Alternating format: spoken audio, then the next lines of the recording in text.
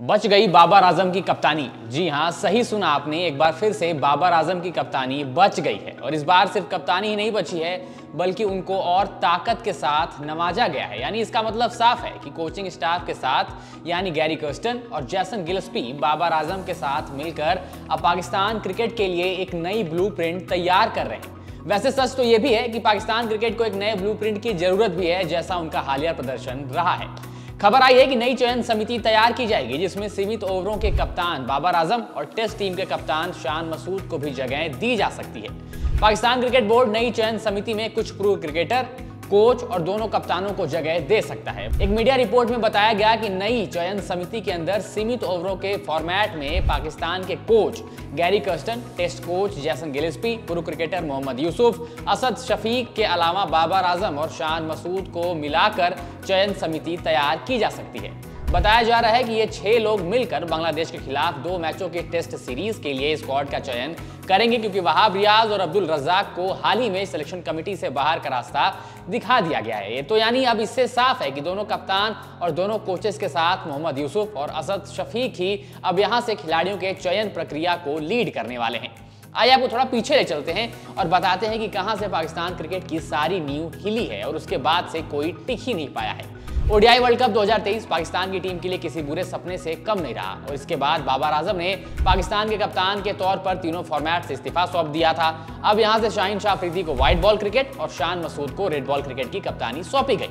लेकिन फिर नए कप्तान बने शाहिन शाह अफरीदी ने भी टी वर्ल्ड कप से थोड़े टाइम पहले ही कप्तानी के पद से इस्तीफा दे दिया और पीसीबी के सामने एक और बड़ी मुसीबत खड़ी कर दी। हालाँकि इन सबके बीच बाबर आज़म और शाहीन अफरीदी के बीच मनमुटाव की खबरें लगातार सामने निकल कर आ रही थी और ये भी कहा जा रहा था कि पाकिस्तान की टीम गुटों में बट गई है। अब इसके बाद फिर कप्तानी की ज़िम्मेदारी बाबर आज़म को सौंप दी गई और फिर टी वर्ल्ड कप 2024 में भी पाकिस्तान का वही बुरा हाल या यूँ कहें कि ऐसा प्रदर्शन जो पीसीबी की नींदें उड़ा दे। टी वर्ल्ड कप 2024 के बाद गैरी कस्टन ने शाहीन शाह अफरीदी के कोचेस के साथ गलत बर्ताव करने की भी बात करी और वहाँ से भी पाकिस्तान क्रिकेट में जो फूट पड़ी है, उसकी बातें निकलकर और ज़ाहिर तौर पर सामने आ गई। कप्तानी नहीं, बल्कि कोचिंग स्टाफ से लेकर सिलेक्शन कमेटी तक में भी पाकिस्तान क्रिकेट में लगातार बदलाव देखने को मिले। कभी मोहम्मद हफीज तो कभी वहाब रियाज, लेकिन कोई अपनी जगह नहीं बचा पा रहा है। वहाब रियाज और अब्दुल रजाक को हाल ही में सिलेक्शन कमेटी से बाहर का रास्ता दिखाया गया, जैसा हमने आपको बताया। कारण बताया गया टी वर्ल्ड कप में खराब प्रदर्शन। लेकिन एक हैं जो पाकिस्तान क्रिकेट को अपने हिसाब से चला रहे हैं और उनकी जगह लगातार बनी हुई है। वो है PCB chairman Mohsin Raza Naqvi. Pakistan cricket Naqvi साहब के इर्द गिर्द ही फ़िलहाल चल रही है, लेकिन अभी तक नकवी साहब पाकिस्तान क्रिकेट में स्थिरता लाने में असफल रहे हैं और लगातार बदलाव करते आए हैं। मोहसिन नकवी ने इसी साल की शुरुआत में जका अशरफ की जगह ली थी। हालाँकि पीसीबी चेयरमैन की भी गद्दी पिछले एक साल से काफ़ी बदलती नज़र आई है। लेकिन अब नए ब्लूप्रिंट के साथ व्हाइट बॉल क्रिकेट में कप्तान Babar Azam, coach Gary Kirsten और टेस्ट में कप्तान शान मसूद और कोच जैसन गिलिस्पी के साथ पाकिस्तान क्रिकेट को नई दिशा देने की कोशिश करेंगे। हालाँकि अब नए ब्लूप्रिंट के साथ व्हाइट बॉल क्रिकेट में कप्तान Babar Azam coach Gary Kirsten के साथ और टेस्ट में कप्तान Shan Masood coach Jason Gillespie के साथ पाकिस्तान क्रिकेट को नई दिशा देने की कोशिश करेंगे। हालाँकि बाबर की कप्तानी बचने से और उनको और अथॉरिटीज देने से कई सारे पूर्व पाकिस्तानी खिलाड़ी नाखुश भी ज़रूर होंगे और ये बात हम हवा में नहीं कह रहे। हाल ही में शाहिद अफरीदी ने बाबर आज़म की कप्तानी पर अपने हालिया दिए गए बयान में कई सारे सवाल खड़े किए थे और उन्होंने कहा था कि उनको बहुत मौके मिल चुके हैं। साथ ही उन्होंने खिलाड़ियों के चुनाव पर भी सवाल उठाए थे।